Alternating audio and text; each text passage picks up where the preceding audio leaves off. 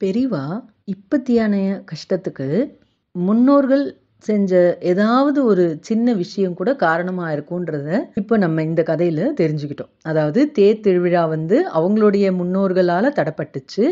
இப்போ இவங்க மூலியமாக அது சரி பண்ணி அவங்க குடும்பத்துலேயும் பழைய நிலைமை வந்துருச்சு. இதே மாதிரி இந்த பக்தர் வந்து திருவாரூரை சேர்ந்தவர். அவருக்கு தாங்க முடியாத வயிற்று வலி. சாப்பிட்ட மருந்து கொஞ்சம் நஞ்சம் கிடையாது. வேண்டி போன கோயிலும் கணக்கே கிடையாது. எல்லா மருத்துவமும் பார்த்தாச்சு எல்லா பரிகாரமும் செஞ்சாச்சு. ஆனால் அவருடைய வயத்து வலி வந்து தீந்த பாடம் இல்லை. மருத்துவர்க்கெல்லாம் மருத்துவரான மகாபிரிவர்கிட்ட வராரு.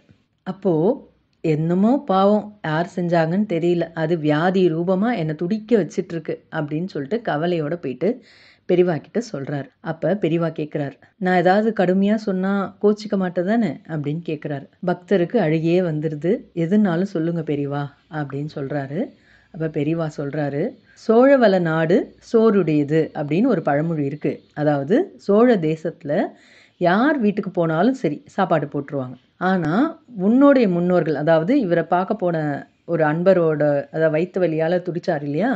அவருடைய முன்னோர்களில் வந்து யாரோ அவர் என்ன பண்ணுவார்? யாருக்கும் சாப்பாடே போட மாட்டார்.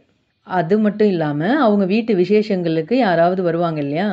அதாவது ஏழைகள் சாப்பிட வருவாங்க இல்லையா? அவங்கள அடித்து வேற விரட்டியிருப்பார். இந்த மாதிரி செய்கிற சில பாவங்கள் அவங்களுடைய சந்நிதிக்கும் தொடரும். அது அவங்களுடைய பேரன் கொள்ளு பேரனையும் கஷ்டப்படுத்தும். அப்படின்னு என்ற விஷயத்த பெரியவா வந்து அந்த அன்பருக்கு ஞாபகமூட்டுறாரு நீ என்ன பண்ணு? உன்னால் முடிஞ்சா எத்தனை ஸ்தலங்களுக்கு போக முடியுமோ அங்கே போயிட்டு பக்தர்களுக்கு சாப்பாடு போடு. அந்த மாதிரி ஏற்பாடு பண்ணி ஏதாவது ஒரு கோயிலில் நீ உன் கையால் சாப்பாடு போடு அப்படின்னு சொல்லி அனுப்புகிறாரு அதே மாதிரி அவங்க ஊர் அவர் திருவாரூர் இல்லையா? திருவாரூரில் தியாகராஜ சுவாமி கோவிலில் முக்குந்தார்ச்சனை அப்படின்னு ஒன்று விசேஷமாக செய்வாங்களாம். அதுக்கு வந்து நாலு மூட்டை அரிசி வாங்கி சக்கரை பொங்கல் வெண்பொங்கல் ததி அன்னம் அப்படின்னு நெய்வேத்தியம் செஞ்சு ஏழைகளுக்கு அன்னதானம் பண்ணுவாங்க அவங்க ஊரில். அதையும் செய்யி அப்படின்னு சொல்லி அனுப்புகிறாரு அந்த அன்பரும் பெரிவா சொன்ன மாதிரியே செய்கிறாரு மருந்து எதுவுமே இல்லாமல் அவருடைய வயிற்று வலி சரியாயிடுது. அதுக்கப்புறம் அவர் மடத்துக்கும் மளிகை சாமான் காய்கறி பழம் அரிசி மூட்டை அப்படின்னு சொல்லி எடுத்துகிட்டு வந்து கொடுத்து அவருடைய நன்றியை தெரிவிச்சுக்கிறாரு. பெரியவாவில் மட்டும்தான் இந்த மாதிரியெல்லாம் கராராக பேசி பரிகாரம்லாம் சொல்ல முடியும். சித்திரகுப்தன் கூட அவர் கணக்கில் ஏதாவது விட்டு போயிடுவாரா இருக்கும். ஆனால் பெரியவா கிட்ட எதுவுமே தப்ப முடியாது.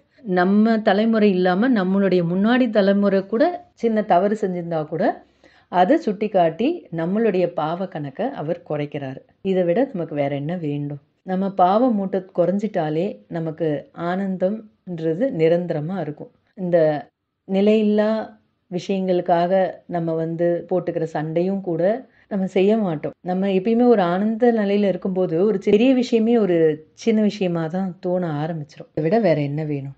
நம்மளுடைய கர்ம வினையை தீக்கிறதுக்கு தான் அந்த கருணாமூர்த்தி நடமாடும் தெய்வமாக நம்ம கூடயே இருந்திருக்காரு. இன்னமும் சூக்ஷமமாக இருந்துட்டுருக்காரு.